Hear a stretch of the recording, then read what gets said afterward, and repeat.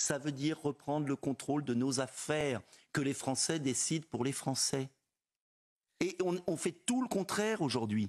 Euh, Romain Desarbes, on fait tout le contraire. On ne contrôle pas. Non, mais je voudrais reprendre. Qu'est-ce qu'on ferait? En tout cas, moi, qu'est-ce que je ferais?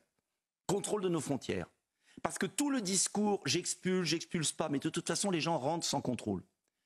Euh, contrôle de nos frontières. Examen des demandes d'asile dans des centres de rétention aux frontières. Puisque vous savez que sur les 150 000 demandeurs d'asile, les 100 000 qui se sont vus refuser l'asile sont toujours sur le sol français pour 90% d'entre eux. Bah oui, bah alors.